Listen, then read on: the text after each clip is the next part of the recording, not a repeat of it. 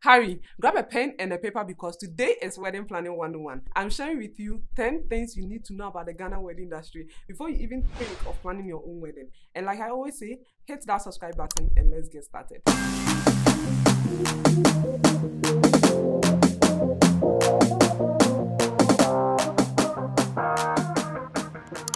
This wedding knowledge topic has been on my to-do list for a couple of years now. These things I'm about to share with you are things I think you need to use to psych yourself before you even think of planning your own wedding. Even if you are a bridesmaid, you are a groomsman, you are a wedding guest, you are father of the bride, mother of the bride, sister of the bride, friend of the bride, it's something, it's basic. It's not tailored to just bride and groom. Everybody should know about this. Think of it as going to the university with a mattress. What? Weird, right? Yet every year it happens. Every single year, someone will definitely go to the university with a mattress. That's the same way with the wedding planning industry. Some things you think oh, this is common knowledge. But then a situation will rise up and then you realize that this is not so common as you thought. The first thing on my list is going to be that venues book out fast.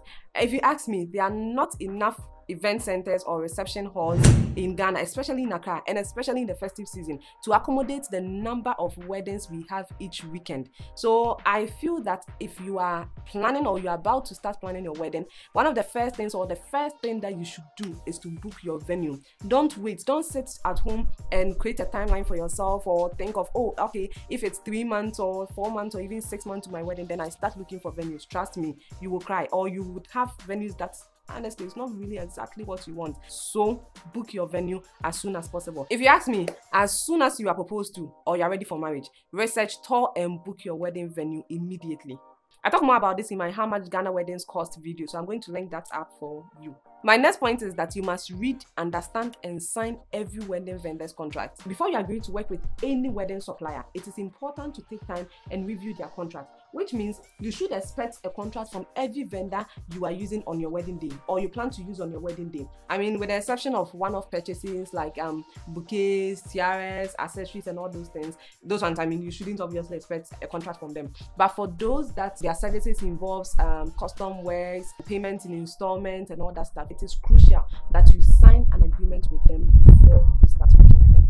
These contracts are legally binding, so you want to ensure that both you and your supplier are fully protected. 9 out of 10, there is no need or there wouldn't be anything in it that you want to amend. But at least it's giving you the peace of mind knowing that if anything should happen, you have legal backing. Hiring wedding suppliers and venues involves dealing with a large amount of money. I mean, you're giving money to people you barely know. So you owe it to yourself at least an hour to read that contract that they provided for you to give you that peace of mind in knowing that you are safeguarded when it comes to any decision or anything that might affect you later on in the wedding planning process. It may not be the most fun part of planning your wedding, but trust me, it is the most important part of planning your wedding. I had an incident that happened a couple of years ago between a client and her photographer. So apparently she signed the contract and then um and everything was cool, but she didn't even read it. And in the contract, it stated that the photographer demands full payment before um, showing up on the wedding day. Yet this woman didn't read about the contract. And then when it was time to actually make full payments before the wedding day, she was like, "How? How can she make payments before the wedding day when she hasn't seen the work or you haven't delivered anything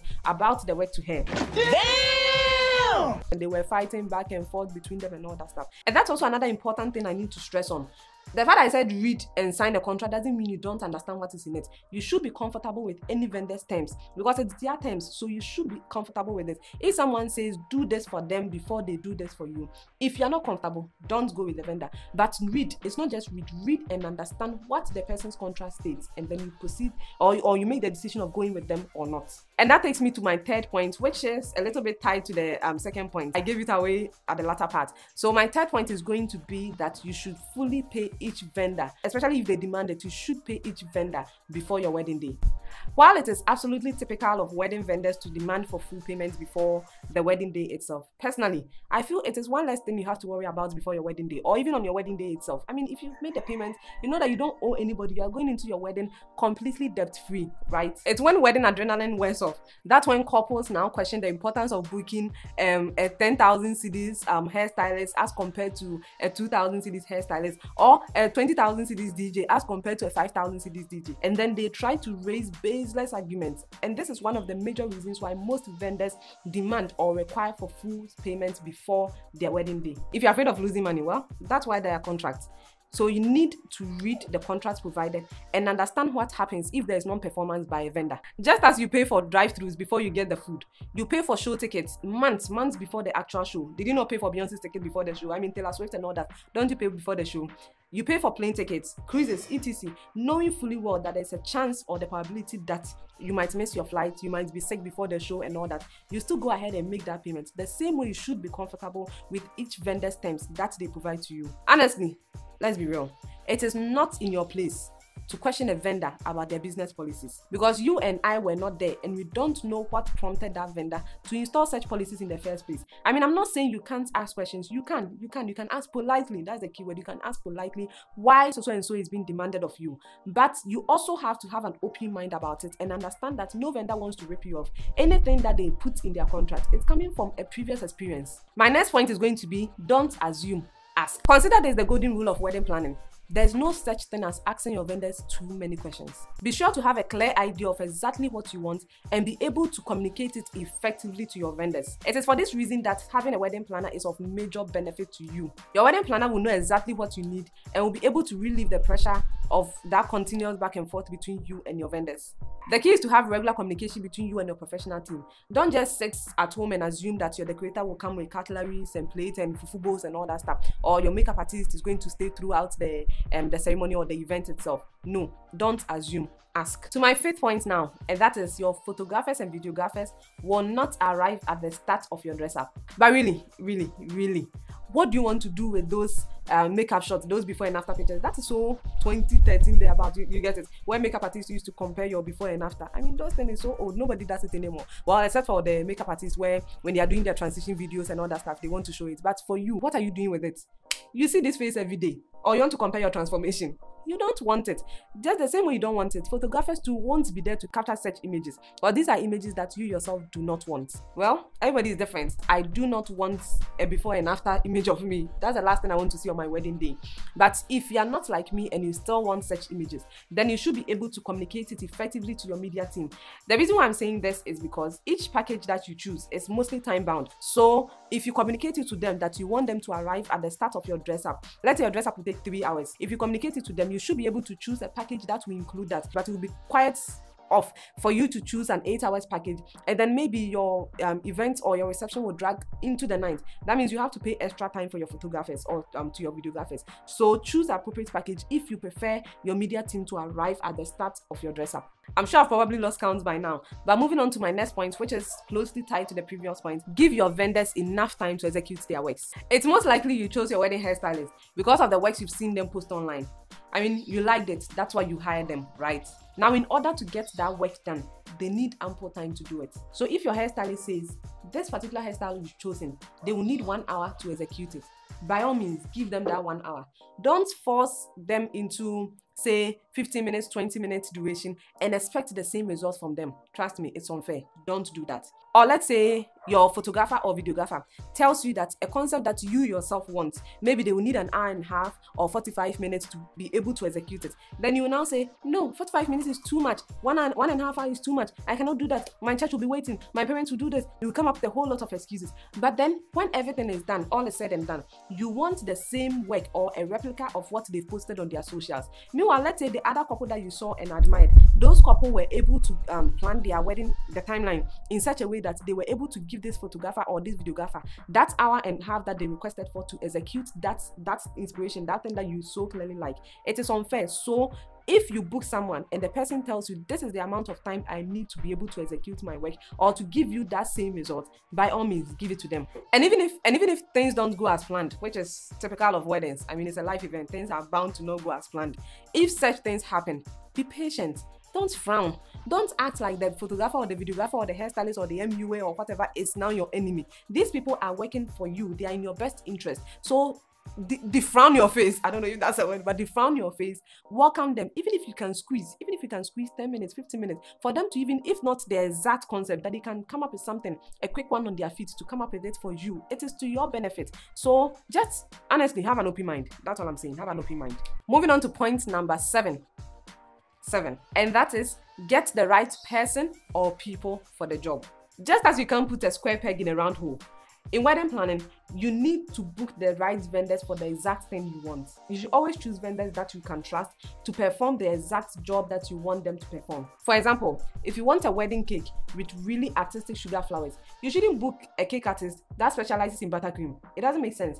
The same way, let's say you book um, a kids party MC for your wedding MC. Some can perform dual tasks, but technically or logic logically, you should get someone that specializes in the very field that you want them to perform.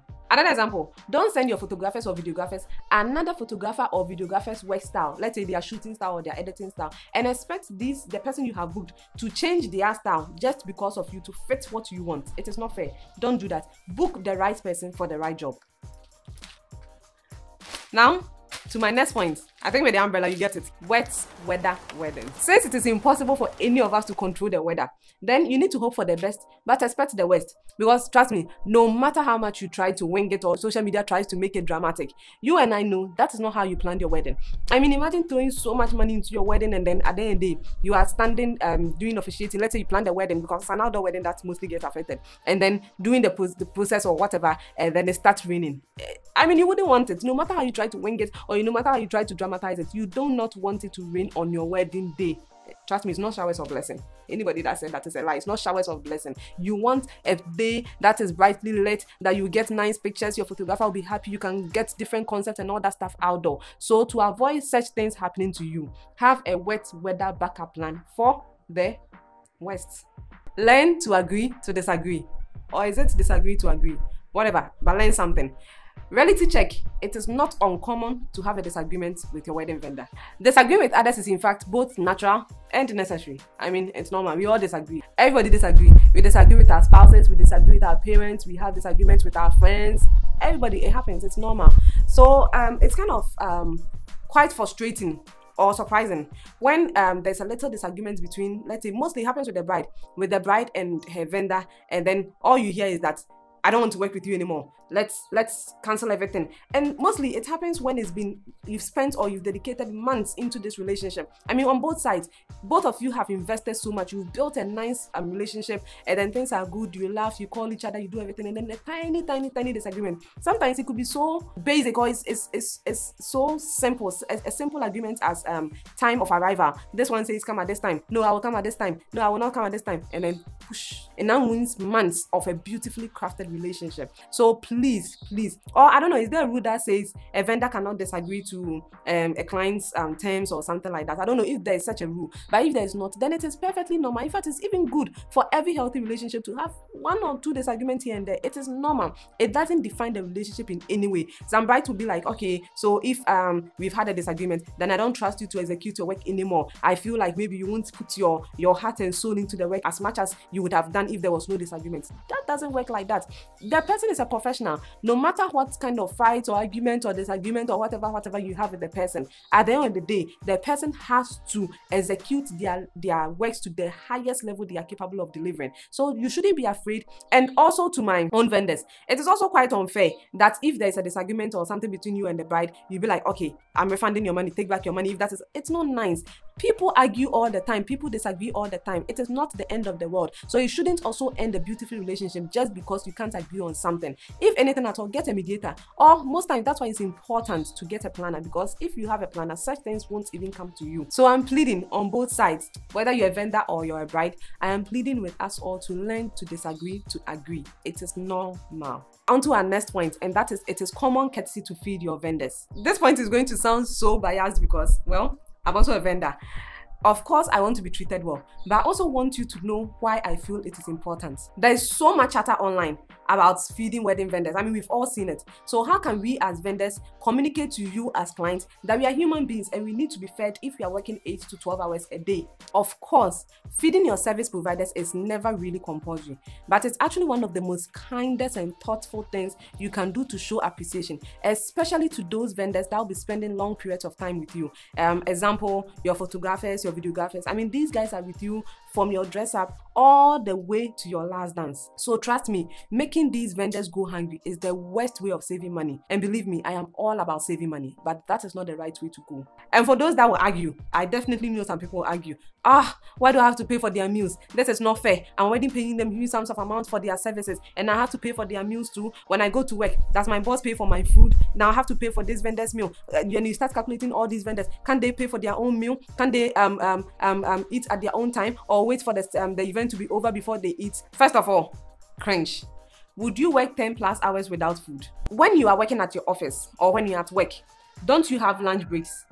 Now, let's bring that into the wedding space. And if you're talking about office work, everybody and their grandmother, the whole world, we all know that if you go to work, even if it's you go to work at 6:30, whatever time you go to work, by 12, between 12 and 1, universally, everybody goes for lunch break.